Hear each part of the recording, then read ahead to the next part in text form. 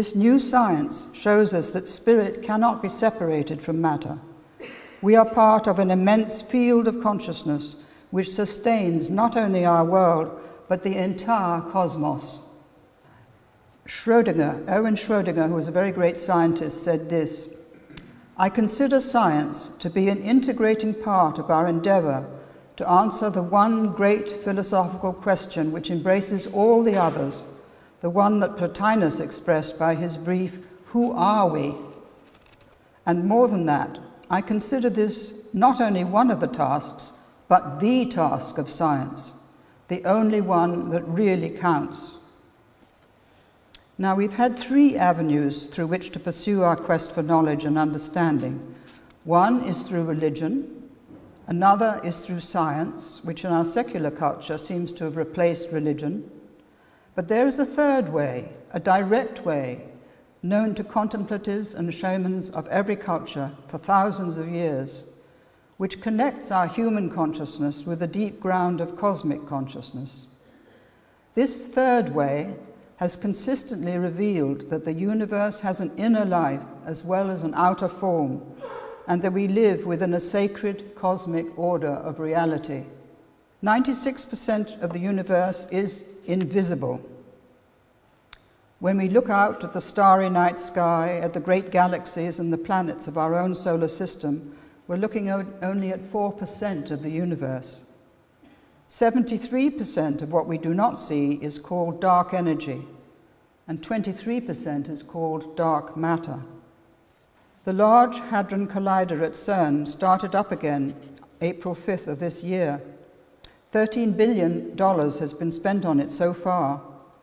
By smashing protons together, it is currently trying to find the elusive particles that constitute dark matter and dark energy. The standard model has not so far been able to answer the questions what is the universe made from?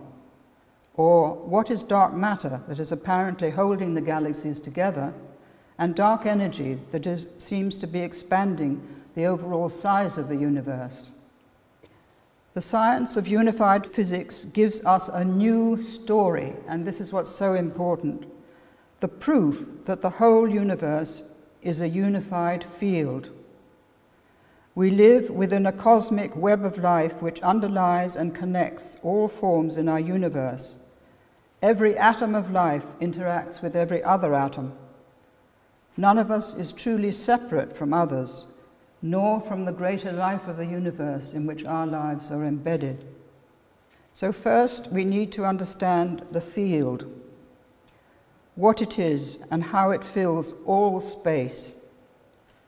Beneath the universe we see is an underlying field or matrix, like a fabric woven of energy, or a lattice, or a web of inconceivable dimensions.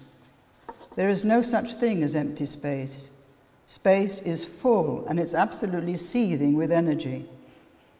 Now, scientists use different names to describe this underlying field or matrix, and it is called space time as well as the following names as you already know, I'm sure, the quantum vacuum or the quantum plenum, the implicate order, which was the phrase used by David Bohm, the zero point field, the ether, which was a term used by Einstein, the Akashic field, which is used in Indian cosmology, dark energy and dark matter, and the sea or ocean of light, and finally the Planck field, which I'm going to talk about shortly. Now, an astrophysicist called Bernard Haisch tells us that the electromagnetic quantum vacuum is a form of light. It is an underlying sea of energy that permeates every tiny volume of space, from the emptiest intergalactic void to the depths of the earth, the sun, and our own bodies. Our world of matter is like the visible foam atop a very deep ocean of light. I think that's the most marvelous statement.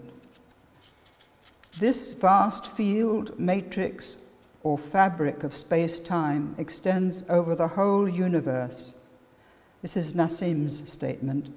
We can't see this field, but we are an intrinsic part of it. Dark energy and dark matter are synonymous with this underlying field.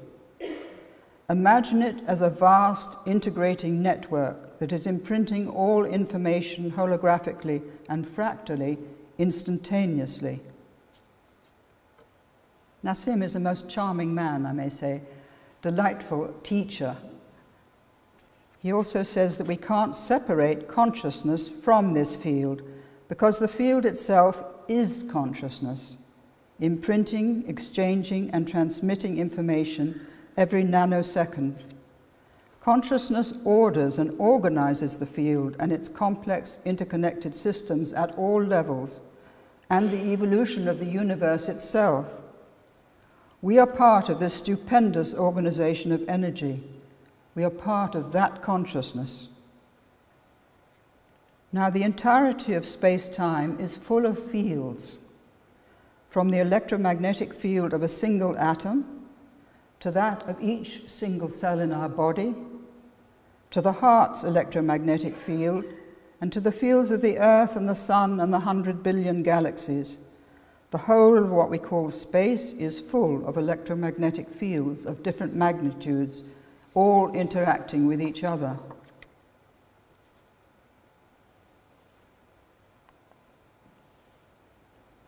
Now, in the dynamic of each electromagnetic field is that it's polarized, but it is one field with two polarities interacting with each other.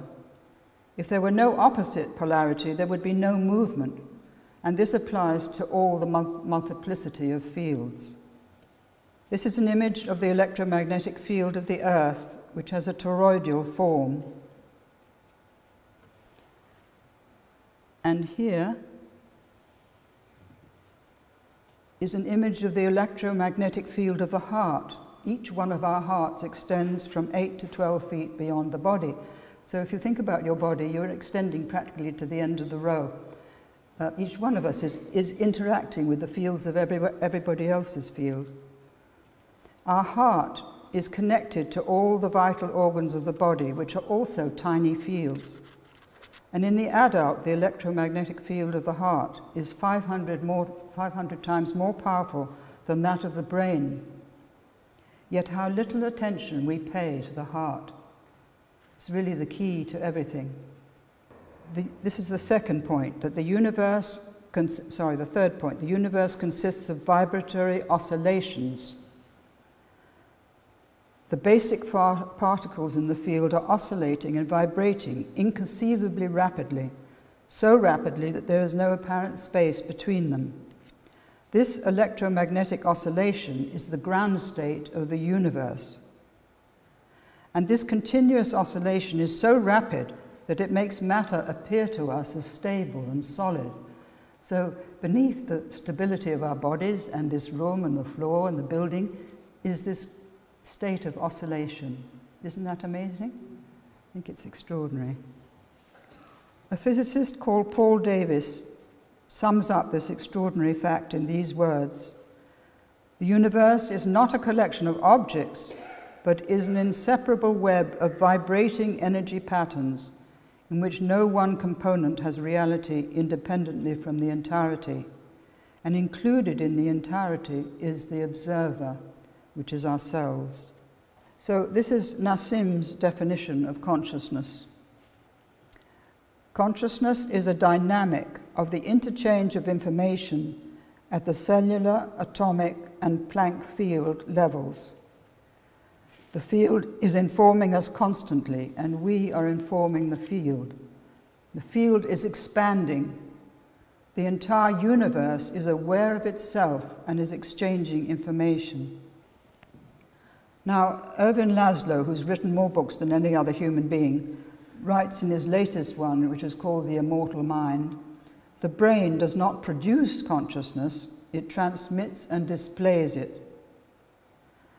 And another distinguished psychiatrist called Iain McGilchrist, who I'm sure you know, who wrote a wonderful book called The Master and His Emissary, said the brain is a transceiver of consciousness.